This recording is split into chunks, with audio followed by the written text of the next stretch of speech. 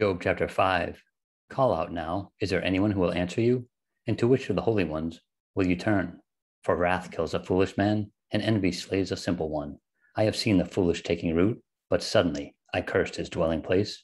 His sons are far from safety, they are crushed in the gate, and there is no deliverer, because the hungry eat up his harvest, taking it even from the thorns, and a snare snatches their substance.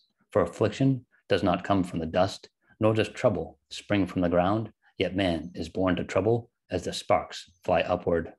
But as for me, I would seek God, and to God I would commit my cause, who does great things and unsearchable, marvelous things without number. He gives rain on the earth and sends waters on the fields. He sets on high those who are lowly, and those who mourn are lifted to safety. He frustrates the devices of the crafty so that their hands cannot carry out their plans. He catches the wise in their own craftiness, and the counsel of the cunning comes quickly upon them. They meet with darkness in the daytime and grope at noontime, as in the night.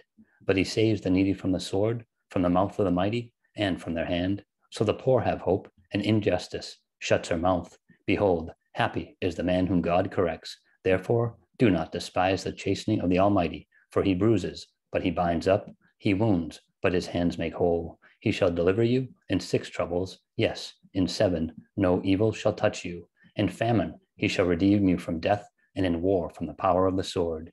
You shall be hidden from the scourge of the tongue, and you shall not be afraid of destruction when it comes.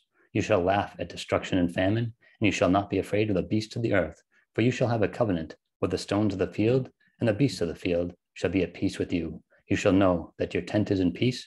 You shall visit your dwelling and find nothing amiss. You shall also know that your descendants shall be many, and your offspring like the grass of the earth. You shall come to the grave at a full age, as a sheaf of grain ripens in its season. Behold, this we have searched out. It is true. Hear it and know for yourself.